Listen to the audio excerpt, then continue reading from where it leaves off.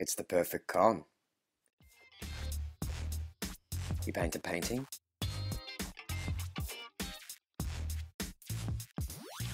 And put it up for auction. And I'll buy it back for an extraordinary amount. Then, six months later, and now that it has a value, we'll put it up for auction again. And it'll sell to some sucker that pays far more than it's worth. And the best part? It's 100% legal. the cops can't touch us. What could possibly go wrong?